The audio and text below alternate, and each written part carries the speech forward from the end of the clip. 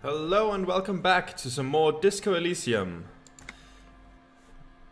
Now, last time we got uh, reassured by Kim and regained our uh, morale. Now, let's quickly look at our notebook uh, as uh, to see what we should be doing right now. Right, there was that. Run the number. Yes, we have to wait for that. Um, interview Wild Pines rep. Exactly. Interview the union boss. Chain cutters. Yes, yes, the chain cutters. Exactly. That's what we're gonna do now.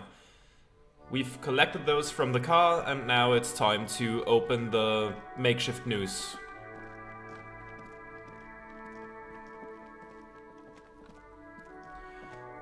And I hope the body is still here. Yes, it's still here. I don't know what Cuno is doing now, but I'm not gonna talk to that person. They bullied me into submission once. I'm not gonna stand for that. On his side, with his eyes looking straight through you. The belt is still around his neck. His body is supine and open to intrusion by autopsy. Alright then. Adjusts his glasses and takes a deep breath. Ah, right, I don't have Inland Empire. Um. Yes, let's cut the belt. Cut with as much precision as you can, please. See, my pig is gonna fuck his head off. No, he ain't. Your pig's a boring fuck. Physical instrument. Oh. Oh no, that's gonna be, um. That's gonna be a difficult one. Um. I'm gonna look for a good The spot to cut. equally tight around the whole circumference of his neck, swelling over the edges like white bread rising from the east. Delicious. The knot is the weak spot. The chain cutters fit in there, steady now, like a flower arranger. Two cuts and it should come loose. And that has increased our odds. That's wonderful. Let's. Yeah, let's give it a shot. After some Wonderful. you sink the cutters into the knot tying the belt together. You squeeze the rubber handles together, sweat forming on your brow. Let's press down on it then. The knot is slashed. Another cut, and the belt falls apart like a flower bouquet, revealing the dead man's neck and the dark red ligature mark around it. The rope rises to a point, leaving a gap in the ligature mark. The suspension point is in the back of the neck. The lieutenant has kneeled closer, running his finger along the dark red gro- uh, groove until there's a gap. Hemorrhaging is observed on the skin, above and below the ligature mark. The mark is well pronounced, consistent with a drop from 1 or 1.5 meters. I'll write Chest that down, thank you. Normal contour. Abdomen is protuberant. Pelvis intact. Genitalia. Oh boy, Cuno is gonna have something to say about that one. No, let's get out and see. I fucking knew it! Genitalia is male and unremarkable. No evidence of injury. I'm gonna write that Back is down. symmetrical and intact. Upper and lower extremities are intact, but asymmetrical. There are combat injuries on the right hand, thigh, and hip. In addition, I see smaller, residual scars, too numerous to count, covering about 30% of his skin. From wounds sustained over two, maybe more decades, dispersal and accumulation indicates long and active combat duty. This scarring is extensive, way more than a law official's. Mm-hmm. We have a real museum here. Of battles, wars. Last item, hands. He takes uh, the man's right hand in his, inspects it, then moves on to the other hand. Um, I'm gonna pick it The up. hand feels heavy, filled with decay liquids, like it's ready to explode if squeezed hard enough.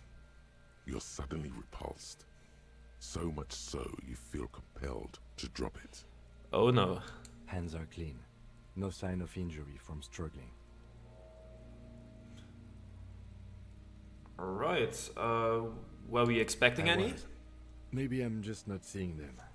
Honestly, this stench is making it hard for me to think at the moment. Ooh.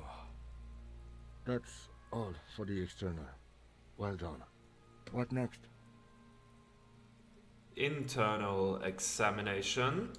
Central nervous system. I have nothing. Do you have anything on this man's central nervous system? Of course, there is a moral to be drawn from it. A moral to this story. If I may add the moral of this story, What would that be? The dead man looks, too, with barely contained excitement to hear the moral of his story.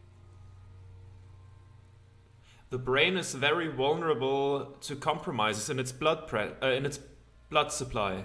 I think that may well be the moral of every story, officer. I'll write NA. Musculoskeletal. Purge fluid is coming from the mouth. Not injury related. Eyes and tongue protuberant. Hyoid bone. Let's see. With his eyes almost closed, the lieutenant puts his hand on the dead man's throat and begins to massage it, gently. A rotting smell erupts from the mouth. Purge fluid runs down his lips, black and viscous. You hear cracks as the lieutenant moves his sharp fingers inside the flesh, like the creaking of an old house at night. Thank you, Perception. I really needed that one. Jack that fucker off! The hyoid bone is fractured. The rest of the musculoskeletal system is intact. Unremarkable. Respiratory system. Back hunched as if in prayer, he begins to pry open the dead man's jaws. He stops to, ex- uh, to exert more force. Both hands are used. Oral cavity shows no lesions. the victim has received dental implants, possibly after a combat wound. Mouth swollen. Hemorrhaging present in mucosa of the lips and mouth. I'm gonna look inside, why not? No scream, no sigh of relief rises from the darkness inside. It's humid there. Sickly sweet air, unlike anything living. You feel like you're about to throw up again, straight in that mouth of his. Um, I'm going to write it down. I don't think anything is gonna come of that. Hepatobiliary. NA. Why don't we have anything? Ah. Are you a hepatobiliary expert? He looks at the corpse's stomach with a mixture of tiredness and disgust. Hepato means liver, and biliary, the gallbladder and bile ducts. Am I an expert in those things? Nothing in your alcohol-soaked memory directs to having forensic expertise on either one. Well, then let's not fool around with it. I don't think so. Neither am I. Well, then let's write NA. Same for toxicology and serology. NA. Both? Unless you have untapped reservoirs of knowledge there? Reservoirs? No, but do they take obscure trivia and odd tidbits? Um, would obscure tidbits and odd fit the field? Uh, the completionist in me wonders if there's something we could still do. Like a toxicology screening? At this stage, I doubt processing will find anything, even if he was brimming with cocaine. But still, you should add a request. Write NA and add toxicology request. Cardiovascular. The body exhibits heavy lividity. Blood has gathered in the hands, feet, and neck. Hypostasis is visually consistent with the hanging. Gastrointestinal. He breathes a sigh of approaching relief. This is the last field on the list. He looks around to the ground. The pool of feces there. This will do. Digested semi-solid food in stomach. Voila. He touches the corpse's bloated lower abdomen briefly. Uh, I'm gonna omit the voila. Let's What's next on be list? serious here. Um, description of injuries. Let's see. We have bite marks, contusions on the head and chest, and a ligature mark encircling the neck. You'll need three fields. Leave a fourth one too. Okay. Be thorough. if you want maximum results. So, um, let's look at bite marks. Head, chest, and scalp bite mark injuries. Predation by birds has caused damage to the body. Odontologist does not need to be consulted. And Okay. your opinion, officer? Non-fatal post-mortem. Next injury? Contusions. So, the scalp bleeds from a post-mortem head injury, a stone. The injury does not have the rim of an early inflammatory response. The perpetrator on the scene has confessed to causing it post-mortem. At maximum velocity, fucko! Thanks, Cuno. Has confessed to causing it at maximum velocity. I'll write that down. Coagulated blood sticks to his scalp and chest, where the countless stones have hit the dead man. Beneath the description of injury, two boxes. Non-fatal post-mortem. Right. Next. Ligature marks. Oh wait, can I unclick that? Um, what's the fourth injury field for? Just in case we lock ourselves out of that. Just in case. Okay, ligature marks. red abraded ligature mark encircling the neck, with a gap on the nape measuring, let's say, 7 centimeters. The hyoid bone is fractured, the cervical column intact.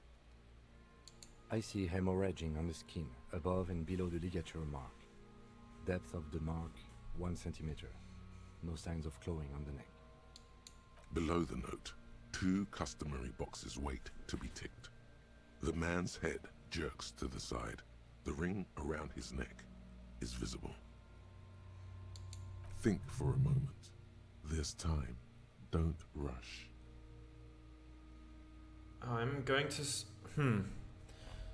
So, hemorrhaging on the skin above and below. One centimeter, no sign of clawing on the neck. That's weird. That's the strange thing about it. Um, the hyoid bone is fractured, the cervical column is intact.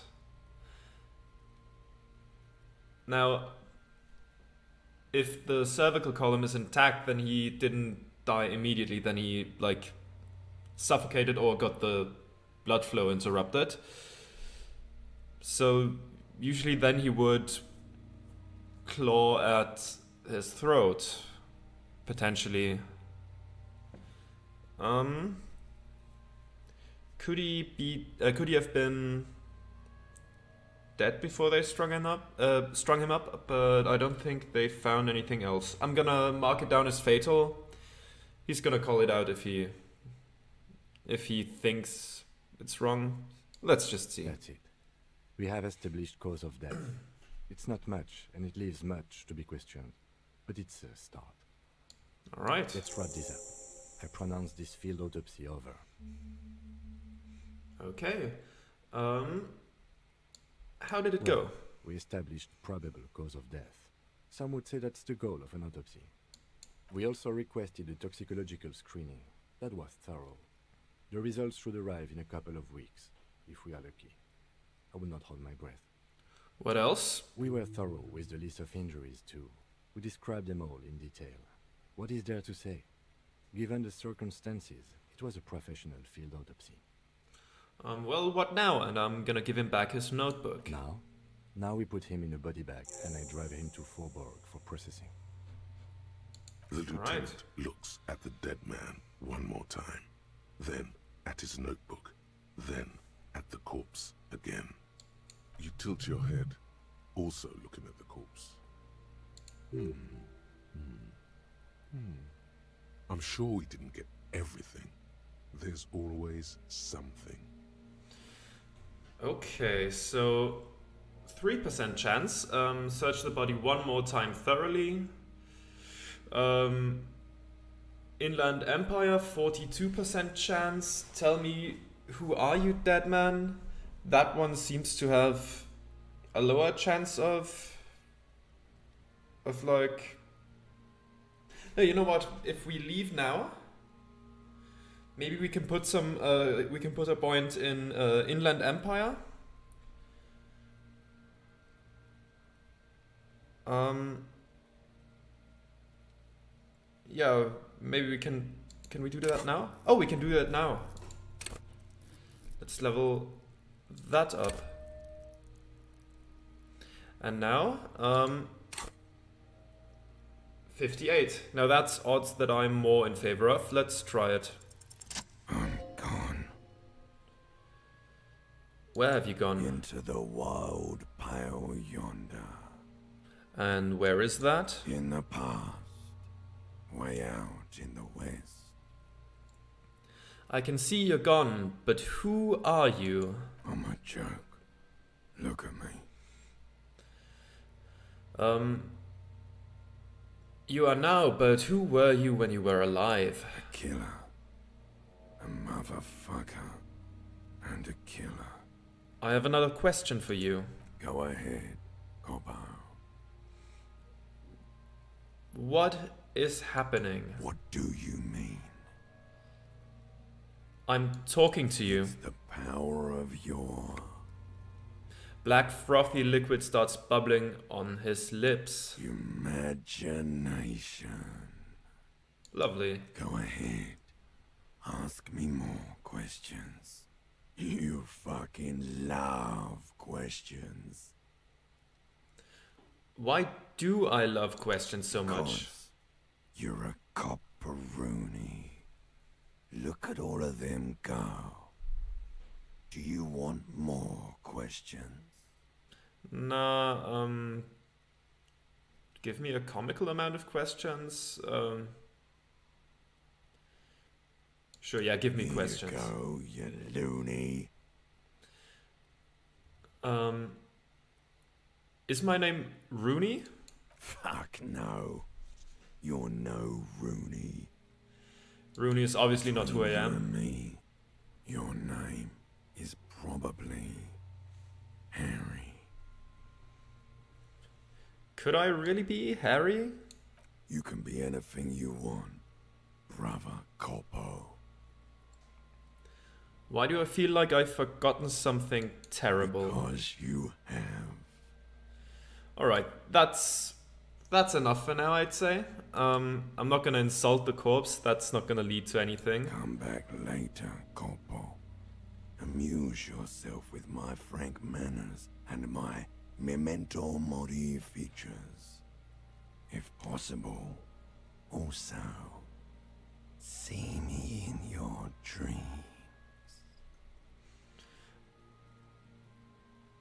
Um, okay, that's ominous. Um,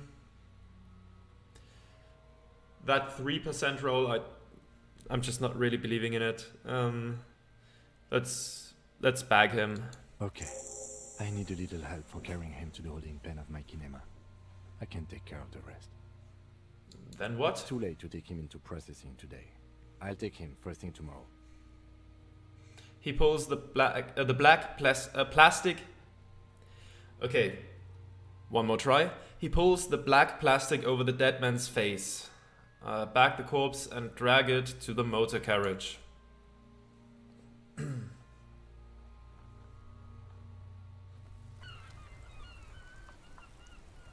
All right. So, map. The Hanged Man, Tommy Lehom, set of tracks. Okay, let's just.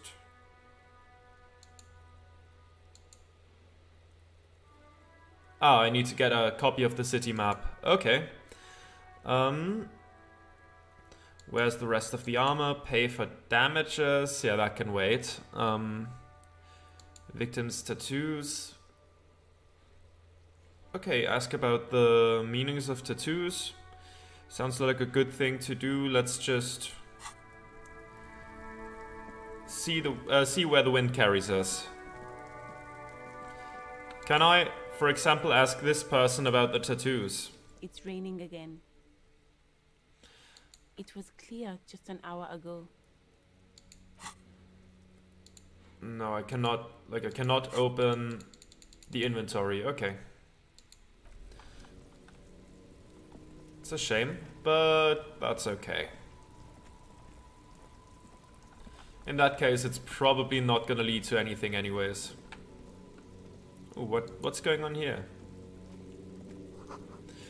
Goods from the lorry haphazardly litter the surroundings.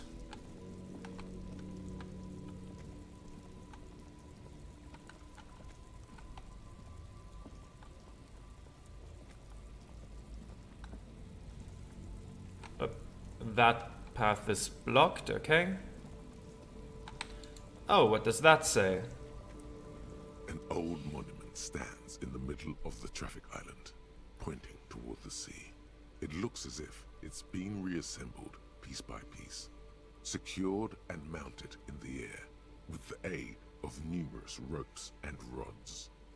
Who is A this? silver plaque on the statue's pedestal reads, I am Philip III, the Squanderer, the greatest of the Philippian kings of Revachol, son of Philip II, the opulent, father of Philip IV, the insane. As you look up, you notice something about the statue. There are some odd indentations on the king's chest piece. Um. Oh, that's a good chance. I'm gonna ask that Something first. with great kinetic energy seems to have impacted the cuirass, around where the heart is. So Cuno did that. Oh. Someone shot him in the heart. Interesting. Uh, Lieutenant, has someone shot the king? Okay, I can't see it, but I take your word for it. What do you think? Well, Martinez is riddled with bullet holes. This place saw a lot of action during the revolution. But the statue is recently renovated, so maybe a joke? Target practice or a political statement? um. I'm gonna say it's a political statement. Why not? What this shows us is guns aren't too uncommon here, and people still shoot them, sometimes at kings. The king stands high above you, surveying the bay, mute and indifferent to your sightings. Now let's think about what the king might have done.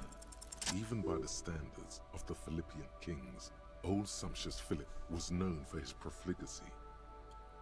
Uh, okay, I don't know what that means, but I'm just gonna take your word for it. Well, he blew through the whole national treasury, starting the decline of one of the penultimate century's greatest superpowers, the suzerain of Revachol. Okay, well, that's not a good thing to do. Maladministration foreshadowed the fall of the monarchy during the anti-centennial revolution, an end to his family line and the monarchy on the Insulindian Isola. How did he manage to blow through the entire national treasury? Stories have it that he had his bedroom converted into a treasure chamber, where he stored unfathomable wealth. Krugerrands, bars of gold, ornate weaponry, armor, and various chalices. He called it the Sol Auron. It was obscene. There were whispers he slept on a huge pile of gold-dipped feathers, like some obese dragon, instead of a bed, like a normal person. Um, I would like to sleep on gold, hustler style. Uh, the king is the king and he can do anything. Wait, really? There's no way that's true.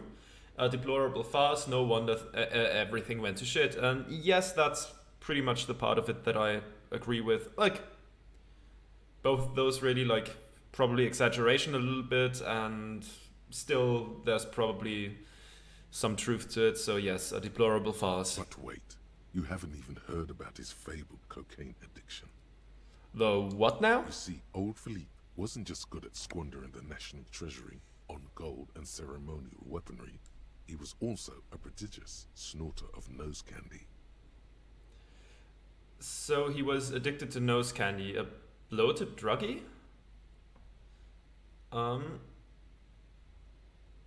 That's what the revolutionaries said 150 years later. Right before they emptied out the royal mausoleum and dumped His Majesty's mortal remains in the Insulindian Bay. Um, this is a lot to process. Majesty's courtiers said it helped him connect with the higher realms. I mean, I think that is already answered. He's somewhere down the river, but let's just ask anyways. Beneath the cold waters of the Insulindian Bay, thrown there by the revolutionaries after they cleaned out the royal mausoleum. And what happened to the statue? The original was blown apart communards, then further damaged during the landing of the Coalition's airships during the turn of the century revolution when Martinez was leveled. Most historians think the Coalition's hasty landing may have ultimately saved the statue. If the communards had more time, they would have reduced it up to even finer pieces. And who restored the monument? Some years ago, a group of liberal, artistically inclined individuals, designers mostly, thought it would be ironic to restore the statue of the most wasteful ruler of Revachol in the poorest part of the city. The statue is supposed to capture the moment it was blown apart, like an instant frozen in time, a rare butterfly trapped in amber, floating on a sea of shit. Well, I can kind of see that, to be honest. Yeah, um, that's. I'm. I'm just gonna say that's brilliant, funny, and nihilistic. People in Martinez tend to disagree, as do many prominent art critics and thought leaders with more nuanced social awareness than the young ironists. Those critics might have it wrong, though. There's more to it than just ironism, but you can't say what precisely. Perhaps this art mystery will be solved at a later time. You know, I just want to briefly say that while it's definitely a risky st- uh, strategy with uh, lives and all that, the the thinker thing has given me a lot of insight into things, and I I appreciate that. Um, the I mean the what was the other one? Uh, the um, more philosophical one would have been interesting as well, but I'm kind of glad I didn't go with the um, uh, dumb as rocks meatman with this because you know I've, I've been getting lots of random uh, successes, so I, I think that's pretty nice. Though yeah, we did die once, so that's I guess the downside that comes with it. Philip III, the Squanderer, however, with his bronze face up in the air, doesn't seem concerned about what the hoi polloi think of him in death. Not that he ever did in life either. All right. So, um, skill points. What do we put skill points in? Physique, maybe? What's motorics? Hand-eye coordina- uh, coordination, perception, reaction speed, uh, savoir-faire, interfacing, composure.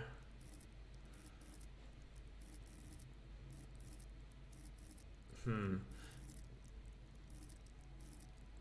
Let's go for suggestion. Hmm. Sure. Why not? A total one? Uh, wait, do I? No, I don't have another one. Okay. All right. So now we have we have all that stuff. Perfect.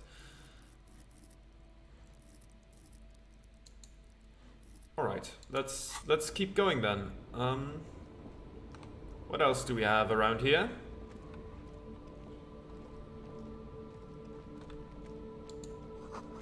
Ruins full of snow. No one lives here anymore. Wait, can you enter? Nope. Nothing to see here.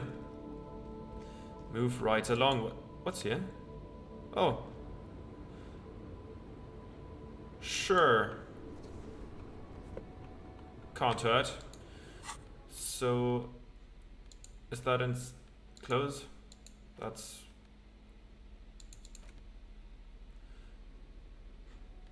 I mean, conceptualization and suggestion. Wait, minus suggestion, and that's physical instrument. Okay, let's keep that in mind that we can uh, then that we can alter our stats with that a little bit. But I think we'll keep the conceptualization for now. Again, I, I'm not quite sure yet what all that stuff does, but we'll find a way uh, somehow. And you are? The small, wrinkled woman does not greet you. She nods along to something on her radio. A photograph is clutched in her hands, and there is a warm smile on her face. The photo, an ambrotype from the turn of the century, as golden as her smile. Um, excuse me, ma'am. I'd like to ask some No questions. response. Wherever this woman is, your words fail to reach her. Well then, snip snap. Wait. Okay. She's just a distracted old woman. Better to leave her alone. Why? Why? I just told you why. If you say so. Okay. Then uh, let's not talk to her. Ah, autosave.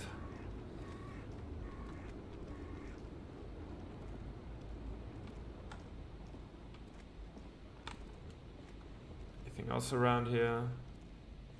Oh yeah, you.